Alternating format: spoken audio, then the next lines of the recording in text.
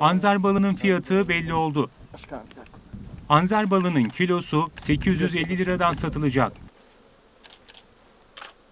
Rize'nin İkizdere ilçesine bağlı Anzer Yaylası'nda üretilen ve birçok hastalığa iyi geldiği belirtilen dünyaca ünlü Anzer balından bu yıl yaklaşık 1,5 ton rekolte elde edildi. 1500 kilo civarında bir bal kooperatifimize gelmiştir.